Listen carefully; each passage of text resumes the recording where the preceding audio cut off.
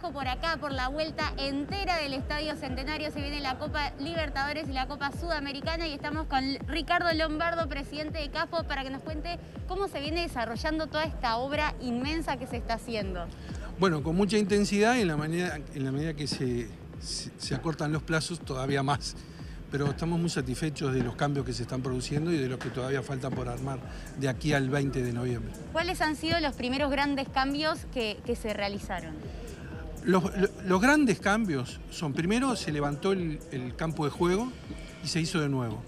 Se hicieron de nuevo los drenajes, el, riego y por supuesto el pasto y se está eh, haciendo crecer un campo de juego mm, muy distinto al que estaba, mucho más nivelado, eh, que esperamos que sea mucho mejor en, la permanencia.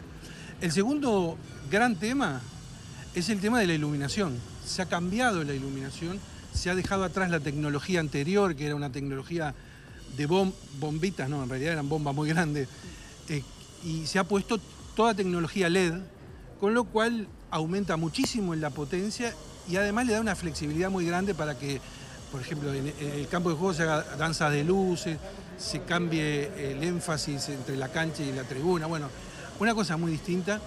Además se está poniendo una iluminación alrededor del estadio, lo cual va a dar una vida a este, a este Parque Valle muy distinta a la que, a la que había antes. También eh, se está haciendo una, remodelación muy importante en los palcos, tanto los palcos VIP como los palcos oficial, como el palco oficial, y los palcos de prensa, todo, todo nuevo, eh, con, un, con, un esfuerzo de construcción muy importante. ¿Se vienen cumpliendo los plazos tales como estaban previstos? Sí, sí, los plazos se están cumpliendo. la verdad la vamos a tener el 20 de noviembre, pero de todos modos yo pienso que a esta altura estamos bien. Eh, falta, yo estaba enumerando los, los ítems más importantes. Los vestuarios se hicieron todos de nuevo. Los dos vestuarios, toda la zona que une los vestuarios. Se, se renovaron todos los baños del estadio.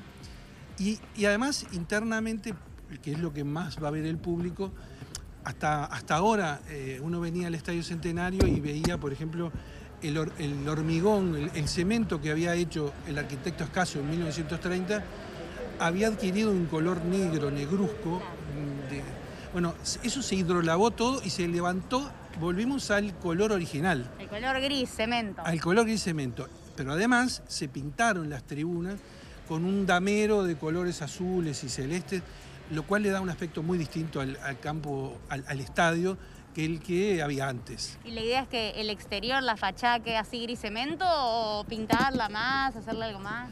Eh, con la fachada se ha querido volver al, original, es decir, la obra del arquitecto Escaso en 1930 era de cemento. Eh, el Estadio Centenario fue el primer estadio de cemento construido en el mundo y quisimos volver a ese, a ese, a ese legado original. Eh, también estamos viendo la, posibilidad de darle algo de color, por ejemplo, en, las puertas, eh, inclusive para diferenciarlas. Y bueno, pero eso estamos en, en este momento eh, lo estamos hablando. hablando porque estamos en el presupuesto, estamos muy pasados de presupuesto. Y bueno, si no se hace ahora, antes de las finales, esa es una tarea que quedará para después, como varias otras que van a quedar seguramente para después. Recién decías que estaban pasados de presupuesto. ¿Cuál es la inversión total que, se estima que va a alcanzar la obra? No, no, no, no, no lo puedo decir. no lo puedo decir, pero no, no porque no quiera sino porque es imposible calcular. Sí, porque además este, en mi rol, como nosotros lo que estamos es demandando cosas y pidiendo cosas, eh, preferimos no ver todavía la cifra, que la Conmebol, que es la que financia esto, por supuesto está limitando y está controlando, pero cuando llegue el momento se, habrá que pasar línea y, ver qué resultado está. En esto estamos, nosotros estamos como cuando uno va a un restaurante y mira el menú, nosotros estamos mirando la parte izquierda del menú, la parte derecha la está mirando la Conmebol, así que yo quiero seguir en la parte izquierda por ahora. Está muy bien. Y en cuanto al césped, después de que se jueguen estas dos finales, ¿se habrá que hacer otro mantenimiento? ¿Cómo se podría mantener todo este cambio? No, no, este césped tiene, primero el riego ha sido cambiado. Antes el riego era eh, fundamentalmente dos chorros que salían de, digamos, de las áreas. Ahora se pusieron chorros en, varios lugares del campo, que quiere decir que el riego va a ser mucho más parejo. Segundo, eh, se está instalando eh, este césped con mucho cuidado, con mucha precisión. acá estamos con el asesoramiento de los principales técnicos de la Conmebol y pensamos que eh, llegado el momento vamos a seguir con ese cuidado extremo que vamos a tener que poner al, césped.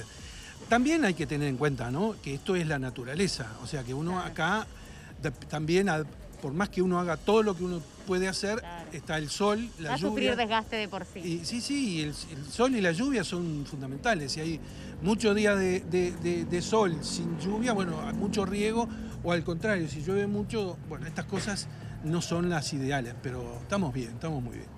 Y en cuanto a los alimentos y, el alcohol, ¿va a haber venta? ¿Está habilitado? Eh, ¿Para las finales? Sí. Bueno, eh, sí, la, la Comebol ha hecho gestiones y se van, se van a vender eh, esos productos. todavía no está exactamente definido el protocolo, pero sí va a haber venta de, de, esas cosas, sobre todo para el público brasileño que va a venir, ya que las finales son entre cuatro clubes brasileños. ¿no? Y bueno, y todas estas reformas me imagino que también favorecerán de aquí en adelante el, uso del estadio, también para lo que tiene que ver con los recitales, por ejemplo, que vendrán en diciembre, no te va a gustar, Jaime Ross. Pero claro, eh, en esos recitales se va a notar realmente el cambio de la tribuna olímpica. Insisto, antes uno entraba a la tribuna olímpica y era todo negro, oscuro, sucio, decolorido. Ahora este, eh, ha levantado color, se ha hidrolavado todo y además los baños, que, no es un tema menor, los baños están eh, totalmente remodelados y además este, construidos con muy buenos materiales, cosa de que el, público se sienta cómodo. Efectivamente, esos recitales, el de Jaime Arroz, el 3 y el 4, y de No te va a gustar el, el 11 y el 12, van a ser la primera eh, reedición de, de estos recitales en el Estadio Centenario, que aspiramos que el año que viene haya muchos. Ricardo, ¿cuándo estimás que va a estar pronto? ¿Ahí sobre la fecha? Sí, sí, sí, yo creo que va a estar pronto el, 20 de noviembre a las 10 de la mañana. No, además, este, eh, además eh, es importante esto. Se están completando las obras. Estas obras son las que eh, específicamente están remodelando el Estadio Centenario. Después, la Conmebol tiene toda una estructura, todos un mecanismos de, de tuneo, digamos, de los estadios, de tal forma que van a poner sus publicidades, sus carteles, y eso va a completar estas imágenes para las finales. Pero sacado eso, lo que va a quedar es esto, que para nosotros es muy importante. Divino. Bueno, felicitaciones por todo el cambio que están haciendo. Todavía no, todavía no. Está bien, el 20, el 20 a las 10 de la mañana, el 20 a las 10 de la mañana. Muchísimas gracias. Un gusto. Seguimos con ustedes, amigas, nos reencontramos en un ratito nada más. Divino, Cami, muchísimas gracias. Qué bueno, ¿no? Tener esta oportunidad de poder remodelar el, Estadio Centenario. Y que después quede para, para, todo lo que se viene. Claro, divino. Me encanta. Divino, divino. Bueno, ¿a quién tenemos aquí?